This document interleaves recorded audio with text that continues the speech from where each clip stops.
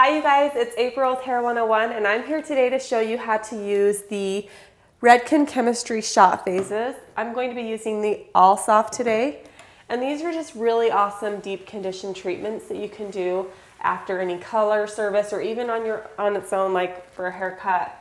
You can just do like add on a little bit, 10 $15, but it really helps deep condition the hair and build the structure in the hair.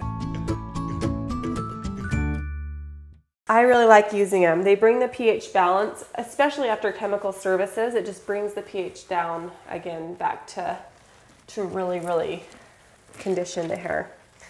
Because when you color, it brings the pH of the hair up, so you need to bring it back down. So the first thing you do is just shampoo the hair and then rinse it.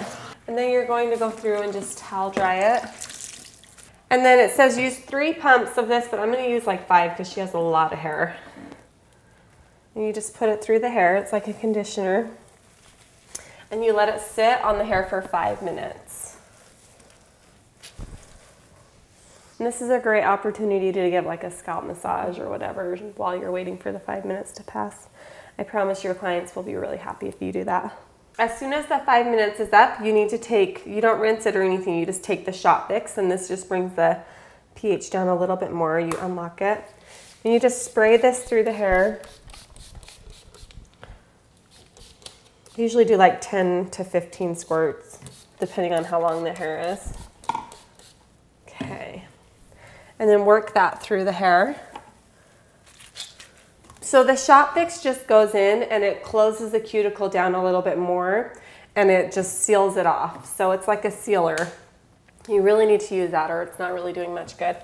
Brings that pH balance down. It says right here the, the pH on it is 5.5. And then you can just go ahead and rinse. And you can follow this with just like a conditioner if you want.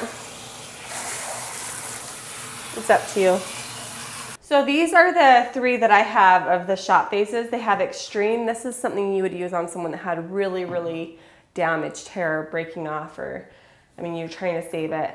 This is a color extender, so if you were doing any reds or vivids, this would be great to use. And then the All Soft just makes her really super soft. I use this one if I don't really have like one of these two things going on because it just makes the hair so soft.